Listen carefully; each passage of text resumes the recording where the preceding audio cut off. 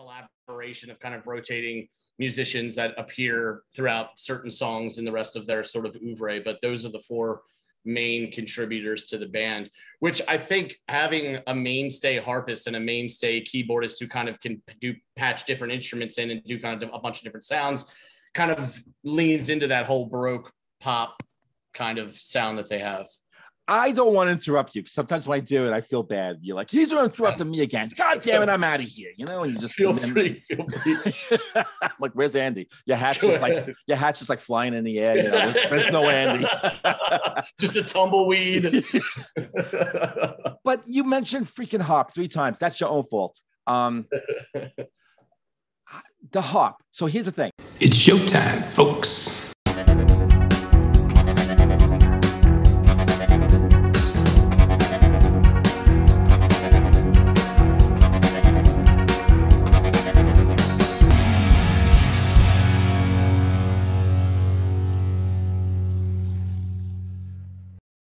Hello, everyone, and welcome to another episode of Into the Music. And if you think that I am just recovering from a stroke, I toast. just need to make sure that I don't F this intro up. This is like intro what, number six? If we had one of those cut, you know, and the action, it would be like action what, 161? but anyway. Yeah. So I'm Greg, that guy's Andy, and you guys know the score, right? Most of you. And if you're new to this, hey, hit the like button if you like this. I know you're going to like this. I don't know if I'm going to like this, but I'm going to make sure that whatever Andy has for me, I'm going to go in with the most, you know, open minded, and I'm going to try to like something about it because I always do. But I hope I also get knocked over because I really want to get knocked over by a song. But that said, um, hit the like button and subscribe if you haven't already. And Andy, what do you got for me today? Well, put a lot on my shoulders, sir. Uh, but what I have for you today is a band called Florence and the Machine. Have you ever heard of Florence and the Machine? No. Okay, great. Well, then you probably haven't heard Dog Days Are Over, which is the tune I want you to give a listen to. Dog Days Are Over. Okay. So it's like summertime, August, and into another season, into fall.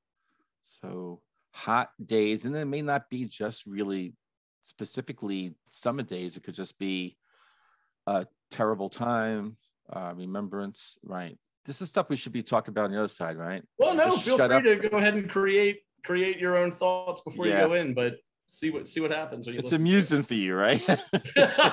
He's so far off, but I'm going to keep letting him go if you would have stuck on the if you would have stuck on the whole weather thing, then I would have been like, yeah, you've been led astray because of dog days of summer. But you started to get there toward the end. But give it a listen, and I think it'll make a whole lot more sense to you. One of my favorite movies is Dog Day Afternoon with Al Pacino, with Robin the Bank. If you've never you seen that, I don't think I've it. ever seen that. What and, year was that? Yeah, that was 74 or 75. Okay. And okay. that is one of my favorite movies. It's so good. And it's set in August, but all the shit that happens though during that movie mm-hmm. But anyway, all right. So um, Florence and the Hendersons. No, Florence and the the machine. And the machine. The machine. And the song is Dog Day.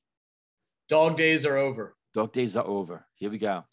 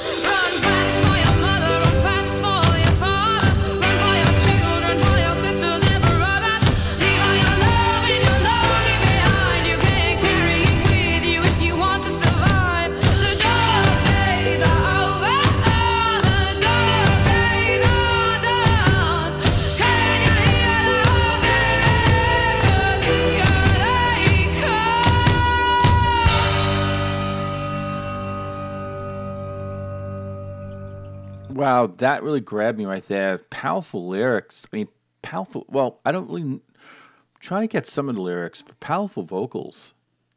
There's something definitely important uh, and meaningful to what she's singing about. Uh, so we got to get into that with Andy, but the power right there of the vocals grabbed me, shook me. Yeah, this is great. I'm sure she's going to do that again, so I'm not going to pull it back. I'm hoping.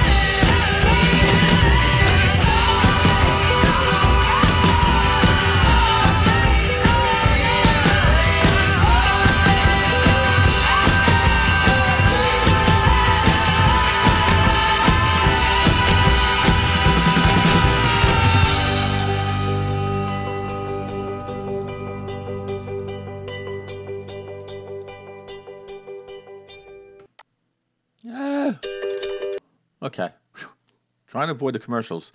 Um, tell me, like, you know, what pill I should take to make my life feel better. But anyway, um, yeah, this is this is uh, this was this is good. This is surprisingly good, and I'll explain that on the other side with Andy. Um, yeah, those drum rolls, I can't get enough of them. Yeah, wow. All right, let's talk with Andy about this. Hey, okay, I'm back. I'm back. I'm back. Um, You are. I here's the thing about the song: Okay. indie rock slash indie pop. Am I right to kind of say that this is the genre? Yeah. Indie Okay. rock for sure. Okay. I mean, there's pop elements to them, but yeah, Yeah. yeah. indie rock pop. Yeah. Sure. And am I? Do you think I'm far off or pretty close when I when I say that my interpretation of and I think indie rock because we've gone over right. There's a lot of bands that after we go over a song, we go into wiki and then it's like they say indie rock and like, you know, and it's like really that's surprising. But I think what I really truly kind of think of about indie rock songs that it's minimal chord changes, left right turns, up and down, around, you know, um, kind of minimal on that. Uh, heavy on the heavy on the lyrics and telling the story, and through that, really requiring strong vocals to really bring that out and the emotion coming out. Mhm. Um, if there's a formulaic sort of, you know, plan, blueprint to indie rock, indie pop, then this song definitely followed that. And what was really interesting is, and that's not such a bad thing, you know, formulaic, oh shit, he didn't like it. What I really, I started picking up, okay, this is like indie rock, so it's indie pop to me. Her voice, her vocals, Mhm. I mean, you know, winner, winner, chicken dinner. You know, we've said that before, but I really, Yeah, her it's got beautiful vocals was is so beautiful and very forceful. You know, Mhm. very forceful. And so I want to get into the lyrics, but because there really wasn't a lot of kind of turns and lefts and rights, you know, um, not a lot. You know, it's basically from beginning to end, kind of knew what the structure was. And then there was like a slowing down, there was a light, and then she would come in heavy, and then it would kind of the music was sort of like, you know, come to a pause, and then boom. So it was very kind of like it was like segmented and all that. And that would normally I'd be like, eh, I needed something else. The something else was her vocals. That's my Mm. point. The something else was her forcefulness, the emotion. Um, it was quite, it was quite, I mean, it was quite riveting actually. You know, it had me very interested in her and her vocals and like that. So overall, based on what I just said, you know, thumbs up for me. Cool. I'm glad you like it. Uh, I'll talk a little bit about the song first before we go into the lyrics, if that's cool by you. Yes. Um, yeah, uh, Dog Days Are Over uh, is a song by English indie rock band Florence and the Machine from their debut album Lungs, which came out in 2009. Um, it was originally scheduled. Uh, it's a. It was originally scheduled for release on the 24th of November in 2008 uh, through Moshi Moshi Records in UK. Uh, and it was the song. It was the album's second single. Uh, this particular song. Um, a demo version of the song is featured on a two disc deluxe edition of Lungs, which is a 60 minute and 40 second long uh, Optimo remix of The Dog Days Are Over. Um, and it's also got an acoustic version that was made uh, available as well. Uh, the song or the band's won uh, Grammy Awards, Britpop Awards. Uh, they really took off big after their their debut album. Um, they're obviously still doing their thing now. It's interesting that you kind of mentioned because they are indie rock. I mean, that's the first kind of designation they're given, but they also have kind of this like baroque rock, chamber music rock type thing going for them because I can see that. they have Yeah. they have like a keyboardist and a harp a harpist who play in all of their songs, and then um the singer. Go ahead. No, no, go ahead. But you Okay, just okay. You, you just you just touched on something. That I'm like, oh yeah, that I wrote down. Okay. Please okay ahead. okay so um they basically um the, the the band consists of vocalist Florence Welch, keyboardist Isabel Summers, guitarist Rob Ackroyd, and harpist Tom Monger. And then then there's a collaboration of kind of rotating musicians that appear throughout certain songs in the rest of their sort of oeuvre. But those are the four main contributors to the band, which I think having a mainstay harpist and a mainstay keyboardist who kind of can do patch different instruments in and do kind of a bunch of different sounds kind of leans into that whole Baroque pop kind of sound that they have. I don't want to interrupt you. 'cause Sometimes when I do it, I feel bad. You're like, he's interrupting me again. God damn it, I'm out of here. You know, and you just Feel free, feel free. I'm like, where's Andy? Your hat's just like your hat's just like flying in the air. You know, there's, there's no Andy. Just a tumbleweed. but you mentioned freaking harp three times. That's your own fault. Um, the harp. So here's the thing. It was the beginning of the song, I believe, right? And there was Mm. this plucking of, I thought it was a mandolin Mm, and electric guitar in tandem going. I love that. That was so beautiful. So I wrote down, and I was like, it's funny when I wrote down mandolin. I thought, no, maybe a harp. I was like, nah, it's a mandolin. But I thought maybe harp. I swear to you. So when you just said harp, that was probably the Yeah. damn harp. The beginning of that song was so was so beautiful. It really Mhm. was. So yeah, go ahead. Sorry. So anyway, yeah, it I, you pinpointed the instrument, and another thing that kind of gives them their own sound, which I think is interesting and kind of drew me into to wanting to hear more of their stuff when this album came out. Uh, Lungs won the Brit Award for Best British Album in 2010, and Florence and the Machine have been nominated for six Grammy Awards, including Best New Artist, Best Pop Vocal Album, um, and additionally, the band performed at the 2010 MTV Video Music Awards and the two 2010 Nobel Peace Prize concert. So these guys really took off after after this album dropped. Um, lyrics, um, song starts off: "Happiness hit her like a train on a track, coming towards her, stuck till not stuck till no turning back. She hit around corners and hid under beds. She killed it with kisses, and from it she fled. With every bubble she sank with her drink, and washed it away from the kitchen sink." The dog days are over. The dog days are done. The horses are coming, so you better run. Run fast for your mother, run fast for your father, run for your children, for your sisters and your brothers. Leave all your love and all your longing behind. You can't carry it with you if you want to survive. The dog days are over, the dog days are done. Can you hear the horses? Because here they come. And that's sort of the first half of the song lyrically. So I think it's a kind of like setting up this situation of acknowledgement where one phase or period is ending and there's sort of this other one on the horizon. Um, Yeah. what exactly that means, positive or negative, I'm not really sure. Um, but the whole idea of like, can you hear the horses? Because here they come sounds like something's coming and we can't stop it. Prepare yourself. Do they repeat that later on the song? Because there's a time where I remember those exact lines were I'm like, you know, resonate with. I'm like, okay, and I'm listening to that, and she is like really like, I mean, the music is ramped Mm. up at that point, and she's Yeah. really hammering home that, um, yeah. Is Yeah. that the time? Because I thought it was later in the song too. So yeah, yeah, no. I mean, after that, it's and I never wanted anything from you except everything you had, and what was left after that too. Oh, happiness hit her like a bullet in the back, struck from a great height by someone who should know better than that. The dog days are over. The dog days are done. Can you hear the horses? Because here they come. Run fast for your mother. Run fast for your father. And Yeah. that part I repeats think itself. everything's all Yeah. coming. Yeah, yeah, it yeah. really culminates at that point. And you're right. She picks up, and it starts to become like a chant. That was great. That was that Yeah, was yeah, yeah. yeah. I mean, I, and they I play was, a lot with dynamics in this song Yeah. too of like bringing things down to build them back up to kind of tear them back down again That's what I was saying. and- yeah, yeah. There was yeah like things were kind of segmented, and it's kind of some, you know, almost like you know, the calm before the storm. You know, that just kind of pulls in, Yep. and then boom, she comes back at you again like that. And the music too. You know, at the beginning too, there was this clapping and tambourine that was really cool too. yeah I- there's a I of love that. going. So there was Yeah. a lot of different like um sort of forms of instrumentation, you know, that was just made it very interesting like that.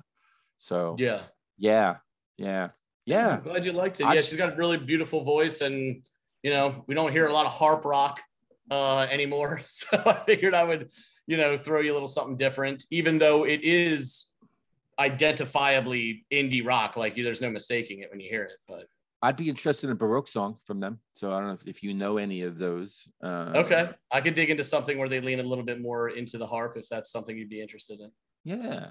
Yeah. That'd be cool. Yeah. cool Well, that's the spirit of channel, right? Going where, absolutely going where nobody else, you know, dares to even go. I can't go there. I got to do Led Zeppelin Dazed and Confused one more time. exactly, exactly, right. Oh my goodness. Well, right. um, well, we got to hurry up because we got to cover "Dream On" by Aerosmith after this one. So I don't think have heard that. Um, What? but yeah, let's go ahead and put a bow on this. Greg, thanks so much for giving this a listen and your honest reaction and sort of response to your first listen of it. Uh, Florence and the Machine, wildly talented group. If you guys out there in the listening listening audience have anything you want to add to what we discussed about the band or the song, please. That's what the comment section is there for. Like, share, subscribe if you feel so inclined. Um, and until the next episode, you will either see Greg, myself, or John, and a tandem made up thereof. So take care, and we'll see you on the next episode of Into the Music. See ya.